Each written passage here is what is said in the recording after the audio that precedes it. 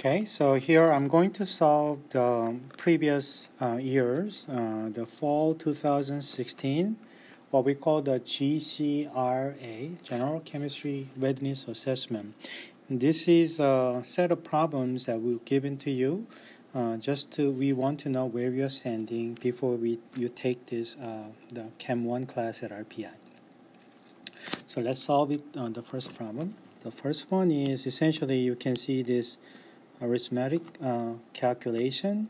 And then this is from the chemical measurement. So this number has a number of significant figures issue, and they want we want to you know that how to carry the calculation from this. So first operation is the division, and if you do this one first, and then you will get this number of five point zero eight seven 006. So this is a number that your calculator will give it to you, but this one has a 5 sig fig, and this one has a 4 sig fig.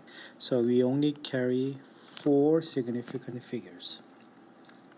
And then, then we're going to do the subtraction, which is a 4.75 and uh, as far as the addition and the subtraction is concerned, uh, the number of decimal places matters. So we only carry down to two decimal points. So that's where we end. Okay, so so now by putting those numbers, uh, you will get will get zero point. Okay, so this one goes away. Three three seven, and we're going to retain only up to two decimal points. But last one, we will decide round off. Uh, round, round off. So by doing so, uh, the answer is 0.34 is the correct answer. Okay. Okay, so second problem is uh, similar. Essentially, they say will give you a number but I want you to express in three significant figures in what is called a scientific notation. So this one, you want to one, two, three. You have to move the decimal places down to three decimal places. So therefore, 10 to the minus 3 that's what you, you you just did and they just wanted to keep three significant figures so that's what we are going to keep so this number transform now 6.92 and so therefore answer is 6.92 10 to the minus 3 so D is the answer. And you'll notice that the answer is already highlighted in, in red and this is what I got from the Dr. Ma uh, who gave this answer to me. So I just uh, going to use this one to uh, show the annotation Okay, third one is what statement describe the chemical properties. So this is a chemical property of a chlorine, and chlorine is a symbol of Cl, chlorine molecule, so Cl2, and uh, uh, it exists as a gas typically in the standard state. Uh, chemical property is related to essentially we call the reaction or uh, chemical transformation or change. So when chlorine react with something else, how does uh, change to some chemical transformation? How does it change to something else? Okay, so those are the chemical properties. But now if you look at here, chlorine, this is a boiling temperature, this is a color, this is a density, and this is also solubility in a certain solvent. So this is these are the all four property what we call the physical properties. Okay. And whereas the last one, which is uh, when you look at the chlorine react with the sodium, so it's chlorine react with sodium to produce salt, which is NaCl.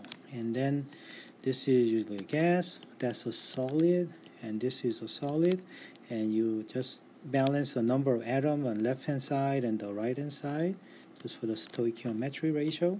And then that completes a chemical reaction. And what what it means is this is a chemical transformation of chlorine gas into salt and that's what we call the chemical properties. So E is the answer. So number four is you have seen this here the iron oxide is reduce uh, becomes an ion, whereas a carbon monoxide becomes carbon dioxide. So essentially, iron oxide being reduced to iron, whereas a carbon dioxide becomes a carbon a carbon monoxide becomes a carbon dioxide, which is an oxidation. So that's this is a reduction, this is an oxidation, and this is a redox reaction. Uh, we, we, will learn from uh, in the in the course of our class. Um, what is this question is asking you is okay this is a chemical reaction and what kind of information can you find out from here uh, from here?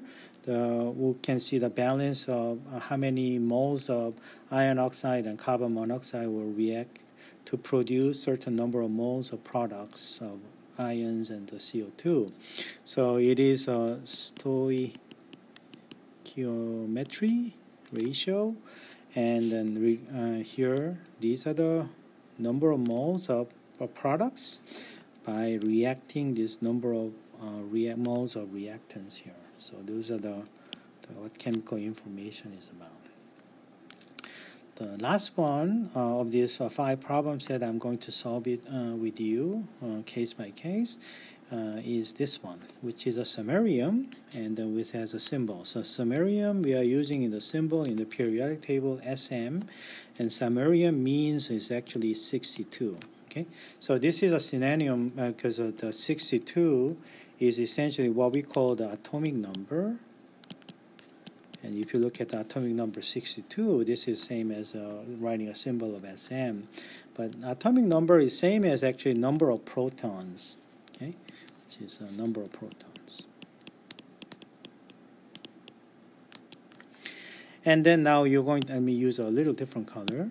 Okay, so you will see this in, in this notation. You will see the 144, and this this number is essentially what we call the atomic mass, or uh, we call the mass number,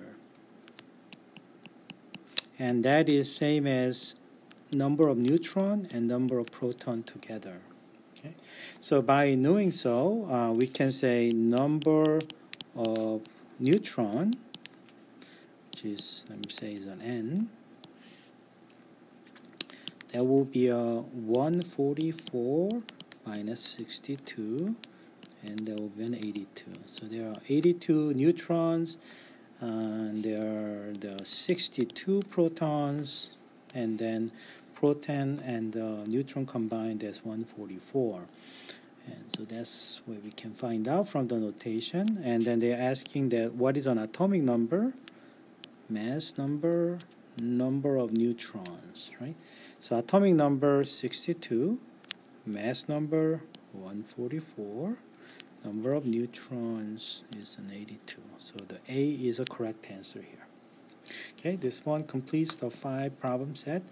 And